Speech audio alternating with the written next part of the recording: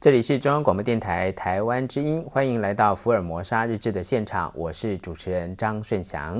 今天在节目当中，我们要特别介绍是慈湖雕塑纪念公园。那么当然呢，要邀请到的就是我们的灵魂人物，也就是呃桃园县农业局的局长啊。那么之前是大溪镇的镇长，也就是我们的曾荣建啊，曾局长您好，主持人各位听众大家好。是，呃，局长，我们当然知道，现在呃颇受海内外以及大陆这个呃旅游的这个游客的欢迎的呃慈湖雕塑纪念公园哦，呃，在呃现在是非常的完整的耸立在那边，让人家参观嘛啊。那当然我们知道，就是说呃事实上啊，在当年呃要开始运作之前呢，啊政治氛围是非常的呃这个颇为怪异的啊，呃很多的这个蒋介石的铜像都被人家呃丢弃，甚至是不要。了啊，是不是也请局长给我们回顾一下当时呃您所感受到的一个氛围是如何呢？嗯，在当时因为解严之后，台湾政治的情形势是快速的一个变动，而且它的氛围是比较奇怪的一个氛围。当然，在整个政治竞争里面呢，总是要找到一个标的。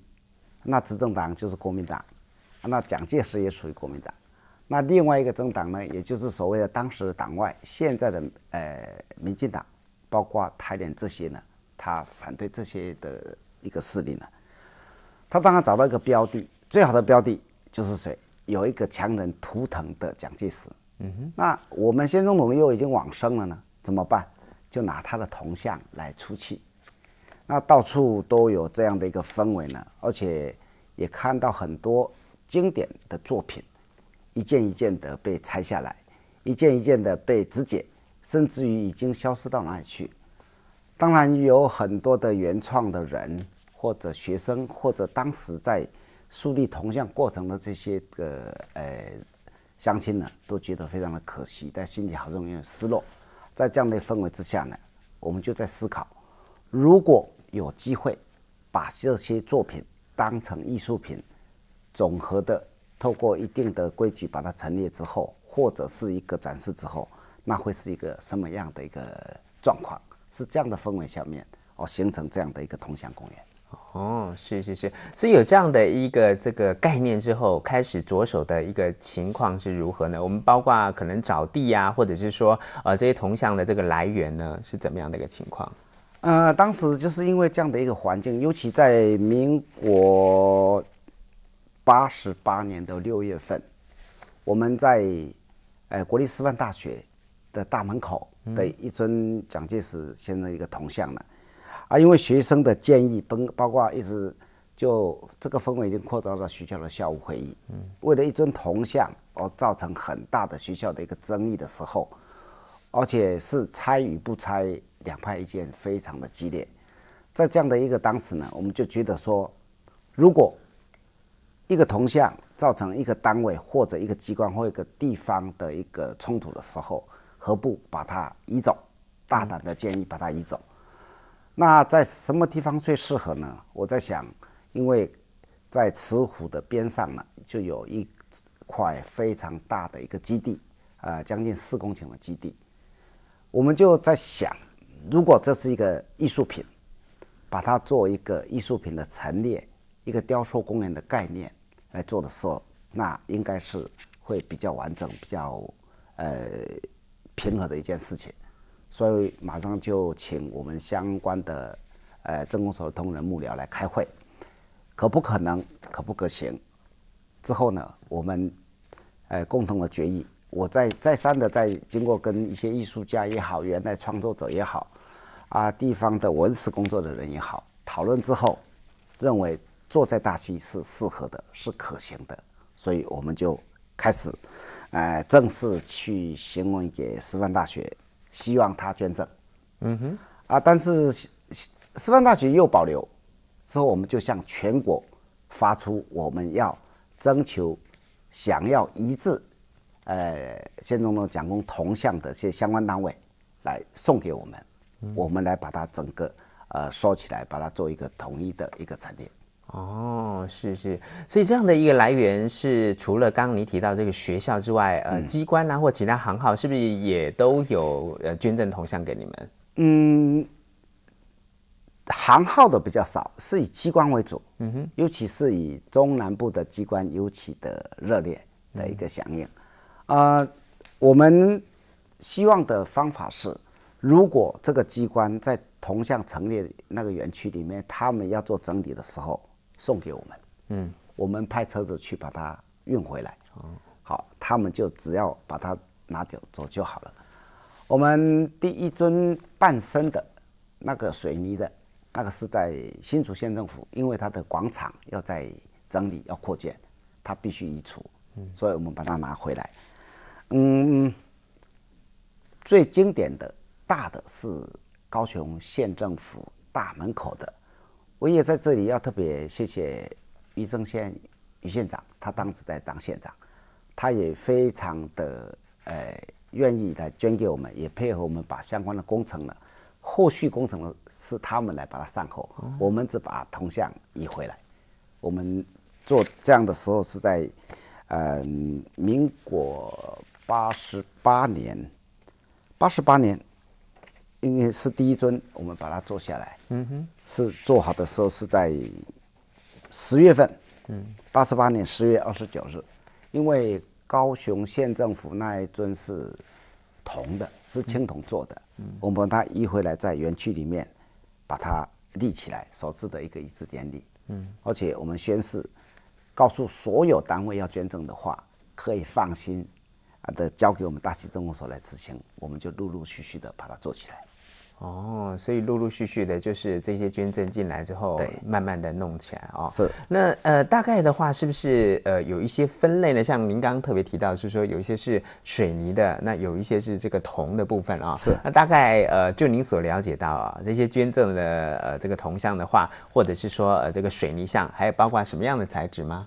嗯，这铜像它主要的材质有用水泥做的，嗯哼，有用 FRP 做的，有用。这个铜的去灌注的，这是三个材质，啊，我们呃最多的是铜的材质最多，啊，FRP 的少，啊，水泥的少，是这样。嗯哼，那目前最大的一尊是不是也算是高雄这个部分所捐出来？是不是？高雄市政府这一尊呢，它是如果完整的话，它会是最大的一尊。它因为它在拆卸的过程、移植过程呢。已经做了非常多的一个破坏哦，所以现在也只能在这整个剩余的破坏的那个里面呢，把它组合起来。嗯哼，应该是说非常的残缺哦。它它算是铜的材质吗？铜的哦。对，那为什么在拆迁过程当中一定要破坏它？是不是？那时候我已经离开镇长的位置了哈。他是从呃文化中心里面要移出来是。它的空间或者运输的过程怎么样？这个我比较不清楚。啊，反正就把碎片拿上来，再把它重新再把它拼拼起来，拼凑起来。对对对对。哦，是是是。那有没有一些这个过程当中哦，是觉得呃还可以分享，或现在还蛮记忆深刻的一些小故事呢？嗯，我觉得值得最值得记忆的是，应该是在呃拱桥过去，在一个纪念碑前面那一个，嗯。骑马的那个是在我们基隆，大概在五个楼层高上面，没有任何的交通道路。我们用尽的方法把它移下来，现在移在园区里面，那非常的漂亮，而且做的非常的经典。嗯，哎，那个作者我们也去跟他谈过，那个作者花了非常多的精神。嗯，而且原来的相亲，哎，那个业者花了非常多的钱。是是这样，对，嗯，所以其实这个过程当中啊，就刚像刚刚你提到的这个骑马这个部分啊，是这个是呃蛮难移下来的，是不是？很难很难很难，没有道路，对。所以其实也可以感受到这个这么难移下来的情况之下呢，大家还是感觉上。呃，不太想要这个东西哦，一定要把它移除。那时候的一个情况，实在是真的是，现在回想起来，真的是令人玩味啊。那么稍微休息一下，我们等一下再继续访问呃，我们桃园县农业局的局长曾荣建曾局长。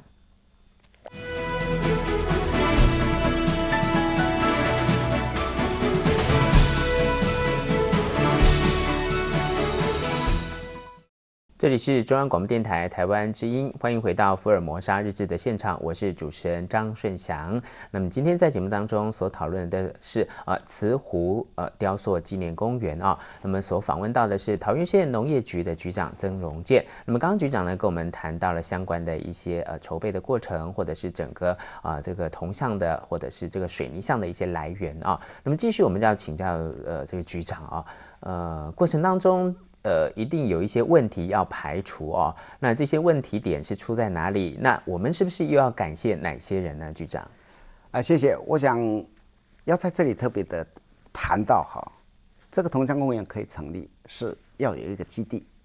基地当时属于国防部在管辖。我在这里要再一次的啊，谢谢我们当时的国防部长唐飞部长啊，他在最短的时间里面。啊，拨出这一块基地给大溪镇公所来做这样的一个公园。